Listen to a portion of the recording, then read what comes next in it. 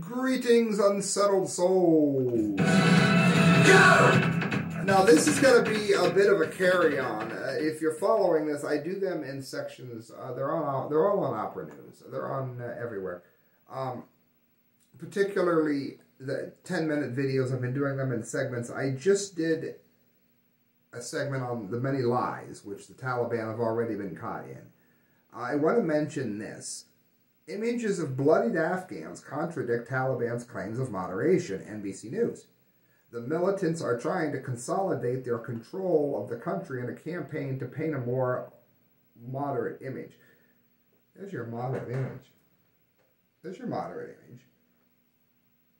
A man with blood on his hands, blood on his clothes, and a bunch of sorry, sad, broken people. Blood, death, whatever. That, that's, that, that's what radical Islam has always bred. And there are a large number of people who, who, who believed the foolishness that the Taliban said about how they were going to act. The only reason they acted that way was because of what a good job Donald Trump had done. And whether or not you want to hear that, let me show you why that's true. It's why it's a correct view. It's why you're listening. It's why you're sharing, hitting subscribe, and I'm grateful for you doing it. Donald Trump threatened them with, no, forget about threatened. He promised them, and they knew that he would eliminate the Taliban. There wouldn't be so much as a turban left behind. You wouldn't be able to find a pile of camel crap if they did anything against what Trump wanted. So the Taliban was in check. And that, my friends, led people in the Biden administration to think that this situation was under control. The only reason that it was under control was because we had a real man in the White House. And even if you don't like him, it's very obvious to see that that's the correct view because it's true, because now that we've got Biden in office, nothing like that is happening. So it's sort of self-explanatory there. It's not really opinion. Um, also, and I, I, forget which, Laura, I forget her name. It's, ah, it's on the tip of my tongue. Uh, InfoWars had an article. You can find it. Uh, it would, would, have come out on the 18th of August, 2021. Um, because today is the 19th now. It says, um, she said the reason this is happening is because somebody wants it to.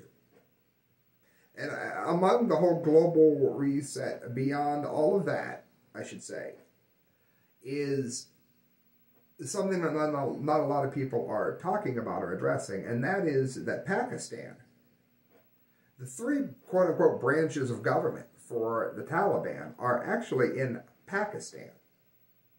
And that may not remain that way for good, depending on when you see this video, but they are in Pakistan. They've been in Pakistan.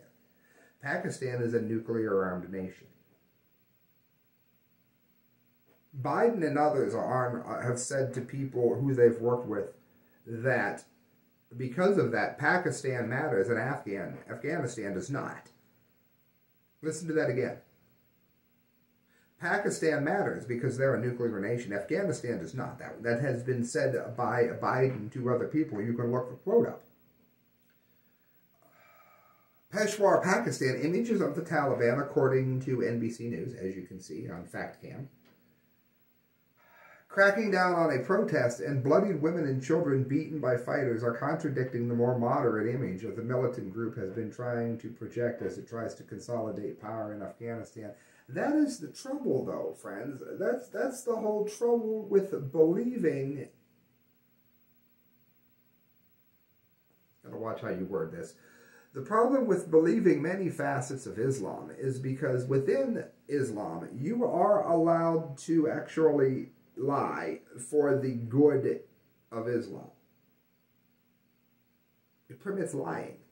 So when they say something, it, it, their religion, the God they choose to worship, allows it, condones it, and thinks it's a good idea in many instances. You cannot trust them.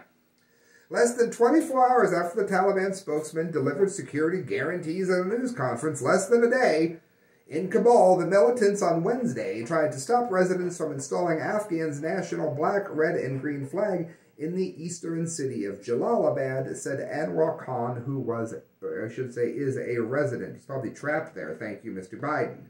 A former police official told Reuters that four people were killed in the protest and that 13 others were injured. Afghan's Pajhwok news agency shared a video of what it said was the what it said was the incident showing crowds running as gunfire was heard. So here, here's some images of the truthful side of Islam here. Meanwhile, the Taliban's assurance of a safe passage to the Kabul airport, where thousands were thronged in a desperate bid to be taken out of the country, has also been undermined by a report and photographs by the Los Angeles Times journalists. Now, the LA Times is not exactly known for their honesty here. So if they are reporting on this against a Democrat in office, you know for sure it's hit the fan. In one of the graphic images, a woman and a child are seen with blood on their faces, apparently unconscious. Hundreds of people were outside the airport Wednesday. The Associated Press reported it said that the Taliban demanded to see documents before they allowed the rare passenger inside and they were shooting weapons to get people to disperse. And you needed a green card, not just a passport. So people are being sent back and forth, and in the process, God only knows what's happening to them in transit back and forth. These nice, moderate people um, blew up two ancient statues of Buddha carved into a mountain in 2001, and already other countries are wondering what they're going to do because up to 3 million people could be rushing into Europe right now. But what do we have? What do we have? Do we have Donald Trump in office, which so many, Donald Trump is danger, danger, danger. All right. How about that? Oh, wait, now I shut it off. Let me put it back on. Um, you want to talk about no respect? Okay. How about this? The Taliban sent Joe Biden a message. This is uh, InfoWars. Tuesday, posing for a photograph, which later ended up on Twitter showing the fighters holding ice cream cones. Americans trapped in Afghanistan were told that you're on your own. Does that look like respect? You think that they would have dared to do something like that to Donald Trump? Look how Donald Trump handled North Korea when they tried shenanigans like that. And no, I'm not saying he'd launch bombs. I think one of his great moments was when uh, Kim Jong-un, the rotund leader of North Korea, he said that Donald Trump was a dotard, a dotard, idiot. And uh, Donald Trump said, I hope that that's not true because I'd never call him short and fat. He had ways of shooting back without it being violent, but they knew not to mess with him. Does this look like people who don't think that they should mess with Joe Biden? Because it doesn't look that way to me. And this is the image predicted to America's enemies. Do you think he gets to pick anything other than what kinds of ice cream he wants? That's it, friends.